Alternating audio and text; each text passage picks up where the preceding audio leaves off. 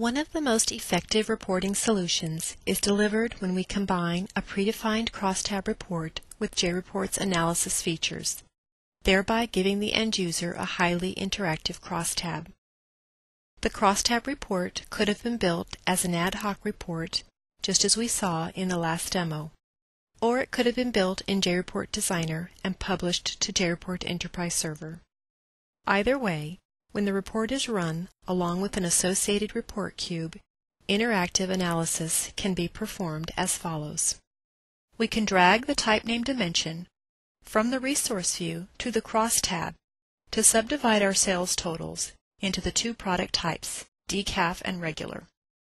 Adding the new dimension gives us two cross tabs, one for the decaf product types on the top and one for the regular product types on the bottom. We can also add data to the body of the crosstab. Here we will drop the count measure to the crosstab, and the appropriate data value appears for each category in each region, as well as the totals both on the right of the crosstab and at the bottom of the crosstab. To separate the sales data by year, we drag the sales year dimension to the crosstab. We can drill into any value, such as we will to the Asia Pacific the APAC region. This drilling reconfigures the crosstab into a completely new data view that focuses only on the territories in the region. Because our crosstab has now grown horizontally, it will be easier to view it if we rotate it, which means to swap the columns for the rows. To rotate, we simply select the crosstab and choose Rotate Crosstab.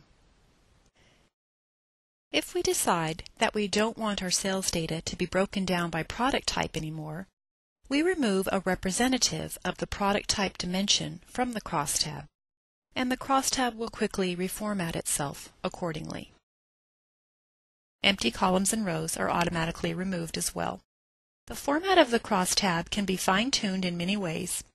We can right-click any entry and access the Properties dialog to customize many settings related to the format such as font size, word wrap, and colors.